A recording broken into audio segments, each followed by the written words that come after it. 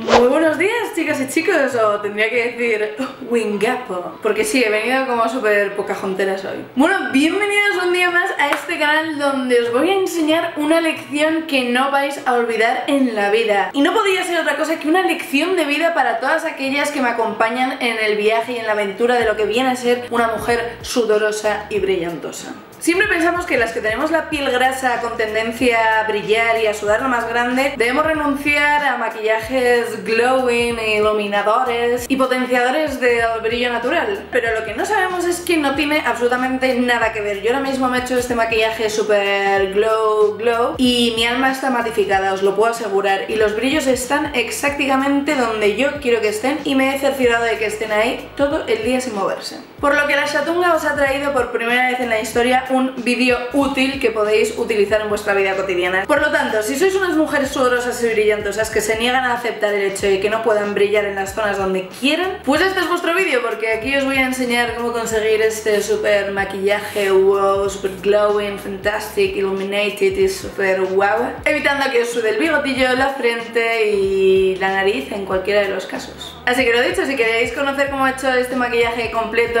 todos los productos que he utilizado y demás, pues este es vuestro vídeo, así que no levantéis vuestro culamen del sofá y sillón barra calma cosa y seguid viendo el vídeo. Lo primero que hago es utilizar este Aftershave Bálsamo de Nivea para hombres que huele como un hombre propiamente dicho y la verdad es que me encanta porque me deja la piel súper fresquita, además tiene glicerina que por lo visto atrapa y pega el eh, maquillaje que te pongas después. A medida que lo vas trabajando se va absorbiendo de una forma súper rápida. Después me he hecho este Professional Matte Rescue que la verdad es que me está sorprendiendo un montón. Tengo que probarlo más todavía para cerciorarme, pero el otro día estuve de rodaje al solamen y no me brilló ni un ápice del bigote, ni de la frente, ni de la naraz. O sea, no sé si es por esto o por mis polvitos mágicos de Kiko, que la veréis, o qué. Pero una de las cosas que más me gusta es que es el típico producto que te puedes echar justamente después de la hidratante y no te crea ningún tipo de pelotilla.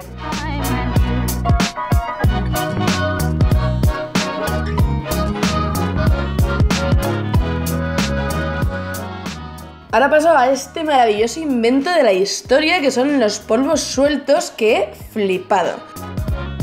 De hecho, me lo pongo con la esponjita que viene en el mismo bote porque es muchísimo mejor que con la brocha. O sea, me encanta el acabado de estos polvos porque son súper mate, pero son como muy luminosos sin ser brilli brilli, ¿vale? Porque son mate, pero es que te deja la piel preciosa, o sea, te la deja súper natural, pero maquillada, unificada y sin esa sensación de que lleves ni pote ni polvos, de verdad, es acojonante, o sea, a mí me ha encantado, me ha ganado y lo dicho, aplicado con la esponjita, ¿eh? Y queda un acabado tan mate que ni siquiera necesito el típico spray de acabado para matificar más todavía, o sea, es que viene que ni pintado, de verdad, os aconsejo a todas las sudorosas y brillantosas que vayáis a Kiko y lo probéis porque está genial. Y bueno, a veces sí que cojo un poco más de producto y me lo pongo en las zonas más conflictivas de mis cachetes y le doy así toquecitos para cerciorarme de que se quede ahí el polvo y no se mueva en la vida, ¿sabes?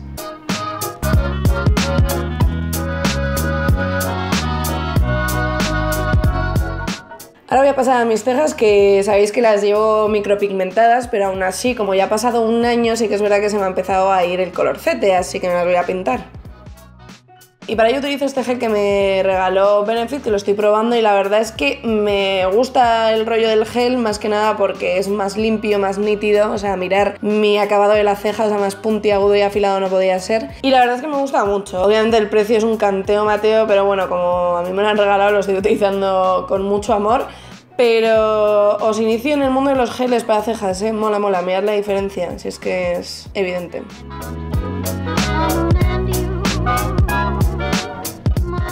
Paso ahora al momento de... ¿qué es esto? Ah, vale, de los ojos y voy a usar esta prebase de L'Oreal que en realidad es un iluminador pero me he dado cuenta de que funciona muy bien para darle una base al párpado y que se adhiera después muchísimo mejor las sombras. Como sombra voy a usar este pigmento, este glitter de Stargazer súper doradito, que la verdad es que es acojonante. Te pones un poquito y es que parece que tienes el papel del envoltorio del Ferrero Rocher en tus ojos. Es un canteo, de verdad. Y no se cae la purpurina, el glitter, jamás.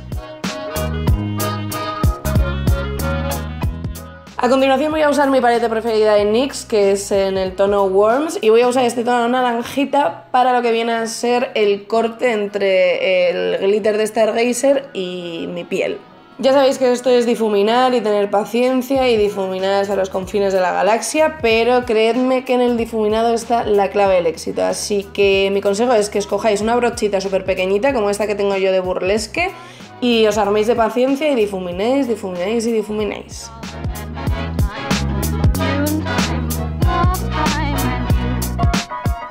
Para ir oscureciendo un poco más la cuenca, cojo este tono más rojito y lo voy poniendo poco a poco en la cuenca. Y solo en la parte externa, ¿vale? O sea, no en la parte de la nariz, solo en la de afuera. Y como veis, lo voy tirando así un poquito para la ceja para crear como un aspecto un poco más gatuna. Después cojo otra sombra aún más oscura y empiezo a intensificar aún más esa cuenca. Y aquí sí que tenéis que tener cuidado para ir aplicándolo súper poquito a poco porque como os paséis con el oscuro la liáis parda, ya no marcha atrás y no querréis volver a salir de vuestra casa.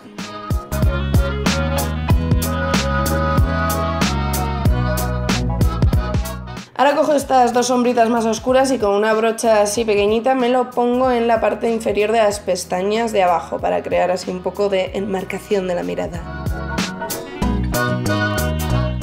Y con estos dos lápices de Kiko, que son así glitter brillantosos y marroncetos, pues me voy a coger más clarito el dorado para ponérmelo en toda la línea de agua del ojo de abajo, para iluminar así un poco lo que viene a ser la waterline.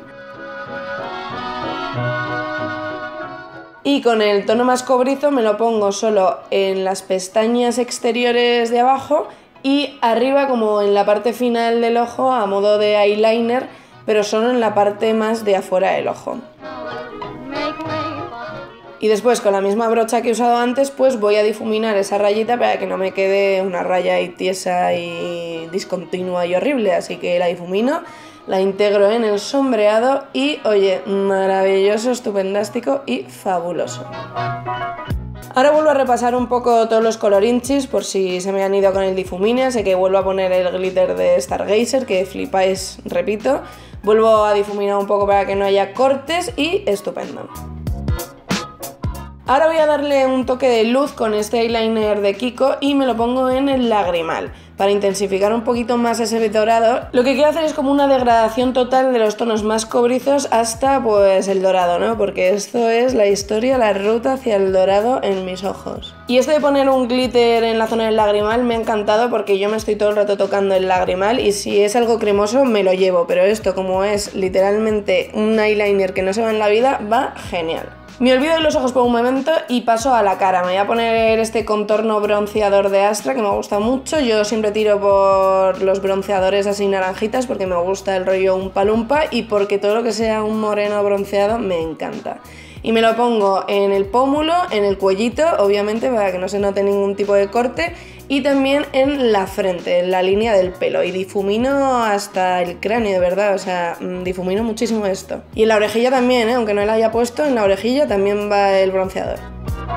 Después voy a hacer algo impensable que es echarme colorete y para ello voy a usar este naranjita de MAC que la verdad es que tampoco se nota mucho y creo que estoy demasiado Heidi un palumposo pero no sé, oye, fue mi primera vez, ¿vale? Vuelvo a coger el iluminador de L'Oreal y esta vez me lo pongo pues en el alto del pómulo y me lo extiendo con esta brochita sintética que la verdad me hace todo el apaño. Mi cámara es lo peor para coger el reflejo de los iluminadores, ¿vale? Lo siento. Vuelvo a los ojos y utilizo esta máscara de pestañas de L'Oreal, que la verdad no es la que más me gusta, pero es que se me ha acapado la que me regalaron, que me gusta un montón, que es una morada. Bueno, ya os la enseñaré. Esta hace bien el apaño, pero bueno, tampoco veo que sea ninguna maravilla. Pero me gusta más o menos porque me deja las pestañas así muy naturales, muy separaditas, largas y demás. Pero vamos, hay un montón de máscaras de pestañas que merecen más la pena que esta justamente.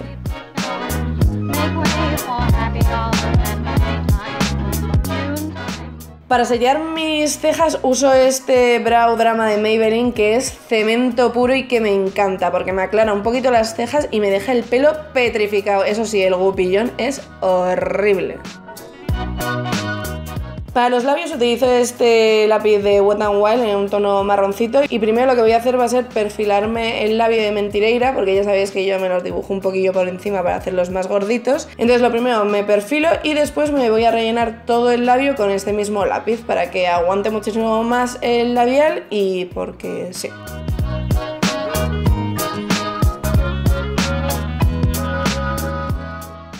Para dar un toque especial al labio voy a coger este lápiz de Sephora y me lo voy a poner en el centro del labio y un poquito pues por todas partes en realidad. O sea que me lo pongo por todas partes. Sí, sí, sí, sí, sí. Y pues le da un rollo pues más glamuroso, más glitter, me hace los labios como más gorditos.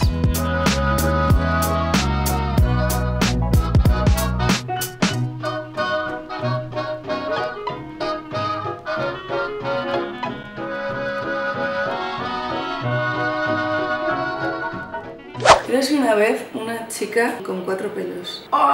Es que estoy viendo el mosquito que ha venido a morir a mi casa. De verdad, es que nunca había visto estos mosquitos hasta que me mudé a esta casa. Os lo voy a enseñar, voy a hacer una foto. Basta ya. Vale, os lo voy a poner aquí, o sea, mi casa está infestada de estos bichos acorazonados que les odio porque deben de tener como un día de vida que siempre les veo merodeando y al día siguiente me los encuentro cadavéricos tirados en un rincón de mi casa y me da mmm, mucho asco. Bueno, pues hasta aquí el vídeo de hoy, espero que os haya servido de algo este tutorial y os haya abierto camino hacia los mundos del brilli brilli. Espero que así sea porque a mí la verdad es que me ha gustado mucho, son mis colores preferidos para resaltar los ojos verdes, ya sabéis. Así que nada, eh, que espero que le deis a me gusta si os ha gustado, que me dejéis comentarios de lo que sea, que os escribáis si os apetece y deciros que los que esperabais una tertulia que no os angustiéis, que ya sabéis que a mí lo de hablar no se va a acabar nunca. Simplemente quería traer un vídeo útil, aportar un poco como mi semilla, ¿no? Mi legado, qué triste, mi legado es un maquillaje aspiraciones de la vida chatunguera. Pero vamos, que en unos cuantos fines de semana volverá la verborrea insaciable de la chatunga. Que muchísimas gracias por verme siempre y por darme la oportunidad de que os entretenga, ya sea maquillísticamente o con verborrea. Y nada, mandaros un besazo enorme, enorme, enorme y de verdad, muchas gracias por seguir aquí conmigo y que paséis una buena semana. Un besazo en el culazo tremendo y chao pescado y hasta luego, luego manelo. No, no, no, no, era Wingapo. Y adiós era Hannah. You know I'm such a fool for you. You got me wrapped around your finger. Do you have to let it linger? Do you have to? Do you have to? Do you have to let it linger? La chatunga, hey.